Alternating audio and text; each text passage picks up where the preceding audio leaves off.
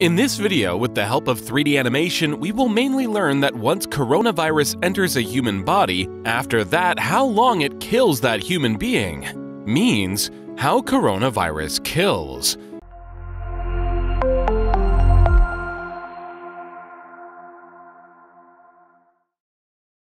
This video is sponsored by Master 3D with Professor.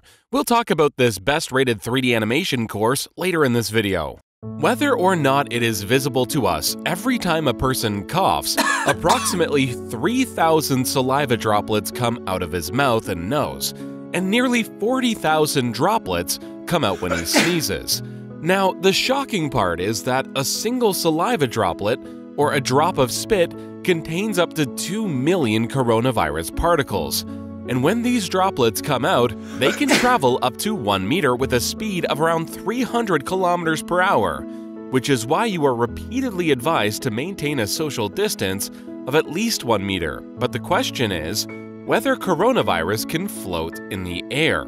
It has two answers. The first answer is yes, coronavirus can float in the air, but in a particular case.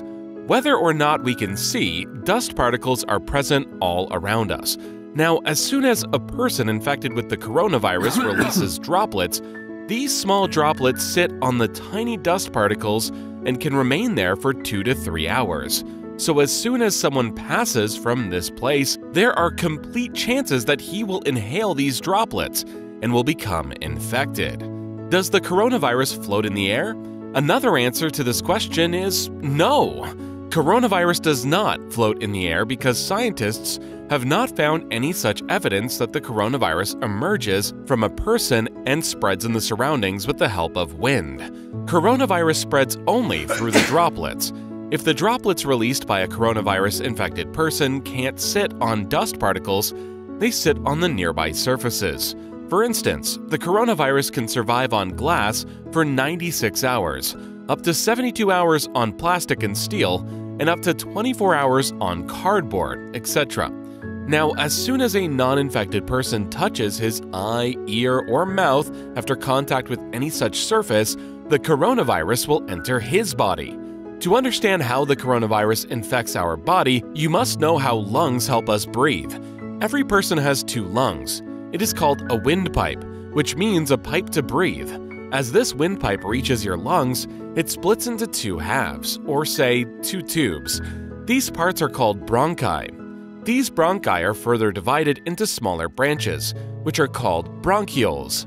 Now, as soon as you breathe in, oxygen reaches these numerous bronchioles from this windpipe via these two bronchi. Here is where the real game begins. At the end of these bronchioles, here are the alveoli. This is the place where oxygen and carbon dioxide exchange takes place in your body. Let's see how. The oxygen which already entered the bronchioles further enters the alveoli. There are a total of 600 million alveoli in our lungs, and they're really flexible. Flexible means when we breathe in, these alveoli inflate, and when we breathe out, these alveoli deflate, means shrink down. So breathe in, inflate, breathe out, deflate. What happens now is that capillaries entirely surround these alveoli. These are the same capillaries our blood flows in. The remarkable thing is that the boundary of these alveoli and capillaries is thin to such an extent that even oxygen and carbon dioxide can pass through it. Now, understand carefully Whatever carbon dioxide, meaning CO2, was in the body came from the capillaries to the alveoli and went out of the body while exhaling. And the oxygen that we inhaled inside the alveoli went into the heart through these capillaries, and then to the rest of the body. CO2 from capillaries to alveoli, and then out, and O2 from alveoli to capillaries, and then inside the body. Anyway, in childhood, you must have studied that the whole body is made up of cells, so it's obvious that the ending of our lungs is also made up of cells. These bronchioles, bronchi, lungs, windpipe, stomach, brain, and everything else is made up of cells only. If zoomed at a large extent, the cell we are talking about would look something like this. This is the smallest unit of our body. Our body comprises 37.2 trillion cells of this kind. A cell has a membrane, a sort of boundary towards the outside. The whole game is to enter this cell membrane. If this coronavirus entered this cell membrane, it would make millions of copies and infect the person. Now, understand attentively how a coronavirus enters a cell. In maximum cases, this coronavirus attacks the cells present on the lung's boundary. But why? Neither on the hand cells nor on the foot's cells, not on the brain cells either. Why only on the lungs boundary cells? Because lungs boundary cells consist of ACE2 receptors. As this coronavirus has thorns on it, similarly, cells on the lungs boundary have thorns on them. Thorns on the coronavirus are called spike protein, and thorns on the cells are called ACE2 receptors. Understand it this way spike protein on the coronavirus is a key, and ACE2 receptor on the cell is that lock. This is why coronavirus attacks the lung's boundary cells and not anywhere else, because the hand and foot cells don't contain the ACE2 receptor, and the correct lock to the key of this coronavirus is only on the lung's cell. The point worth remembering is that this cell membrane is semi-permeable. This means that not everything present around the cell can enter the cell, but a few things can, such as nutrients can go inside the cell, and the waste material present inside the cell can get out. As soon as this coronavirus gets locked on the ACE2 receptor of a cell, the cell feels it to be a friendly thing and allows the entry. This is where the destruction starts. Now, the coronavirus will transfer its RNA directly into the cell and will hijack the entire cell. In simpler words, coronavirus will command the cell to halt all other ongoing jobs and instruct it to make copies of him. Coronavirus's RNA has instructions stored in its genomic code to make copies of the virus, so now, within a few days, the cell of our body will make thousands and millions of copies of coronavirus.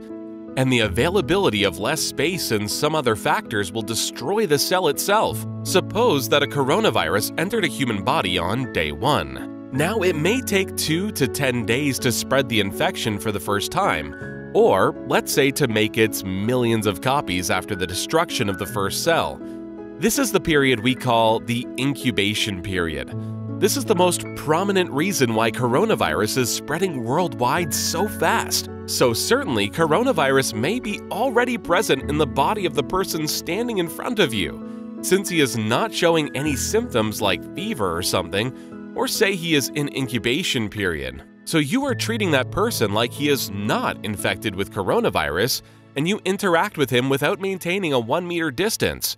As soon as this cell blasts and millions of coronaviruses are born, our innate immune system will activate and will start killing all these coronaviruses. Remember that you get fever in COVID 19 because your immune system fights the coronavirus and creates a hostile environment while fighting.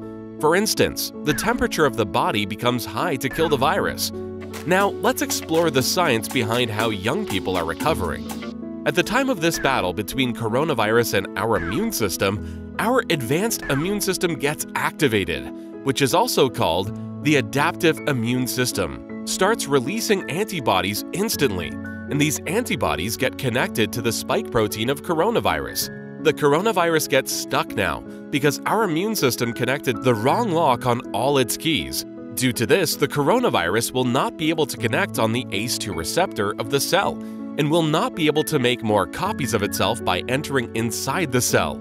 Let it all be fine. But what will happen to these so many coronaviruses that have already been made? See, as soon as antibodies get connected, our macrophages get active. Macrophages are a type of white blood cells that are a part of the immune system. Macrophages will roam to the places where there are antibodies and will eat up antibodies as well as coronavirus. The special thing is that these antibodies can connect to more than one coronavirus, because of which macrophages will be able to eat the coronavirus in bulk. Now you may have a question. When our adaptive immune system could connect to the keys of the coronavirus by making such antibodies, why didn't it connect to the very first coronavirus at the very beginning? This is because, firstly, our advanced immune system understands the spike protein of this coronavirus, which takes time, and accordingly makes the antibodies. The fatality rate of coronavirus is more in older people and less in younger ones. This is because the immune system of older adults is weaker. But what does a weak immune system mean? It means that in older people, these antibodies are not made in the quantity as needed. If you had understood this whole system with even a little bit of attention, then congratulations! You have also understood the working mechanism of vaccines. Not got it yet? No problem. It's very straightforward. Let's see. But before understanding the working mechanism of vaccines, here's an opportunistic reminder. Finally, I've decided to teach you how to create 3D animated videos like this video. Following this, good news! The English version of the promising Master 3D with Professor course will launch on the 1st of July 2022. Master 3D with Professor is a premium 3D animation training program that teaches you how to create 3D animated videos in record time. To avail 70% early bird discount on the original course price, make sure you visit brainrig.com and subscribe to my authentic newsletter. You must have understood that the whole game is to connect a wrong lock, which means antibodies, on the key of the coronavirus, means on the spike protein. So now what will happen is that as soon as the vaccine is injected into the body, it will give the advanced genomic code of coronavirus spike protein to the immune system. In simpler words, it will inform the immune system that this type of virus can attack the body in the future, so be ready to produce these kinds of antibodies. Now, as soon as the coronavirus enters the body, and before it enters the cell and makes its copies, the immune system will immediately release antibodies that will connect to the spike protein of the coronavirus. So now we know why do we get fever because of coronavirus. But why there is a problem in breathing due to coronavirus is not understood yet. Do you remember I told you that when the coronavirus makes many copies by hijacking the cell, then the cell gets destroyed after a limit? Similarly, because of the destruction of millions of cells and the battle between coronavirus and our immune system, pus gets deposited into the alveoli in our lungs. As you know, the alveoli is the only place in our body where carbon dioxide comes to alveoli from capillaries and then gets out. The oxygen goes from alveoli to capillaries and then inside the heart.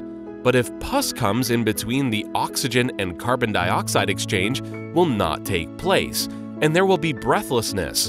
And in many cases, a person even dies. 98% composition of our saliva droplet is water only, which means it's almost water. So if coronavirus had been dying from water, it would have been dead because of saliva itself. But it isn't like that. So washing hands with plain water isn't enough.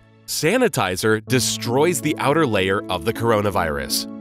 It becomes really effortless to understand any topic with the help of 3D animation. In the other videos on this Professor of How YouTube channel, with the help of 3D animation, you can learn how FASTag works and the technology behind it, how the Pulwama attack was planned, how grenades work, and the technology behind it, and how the Grand Ram Temple to be built in the future will look like.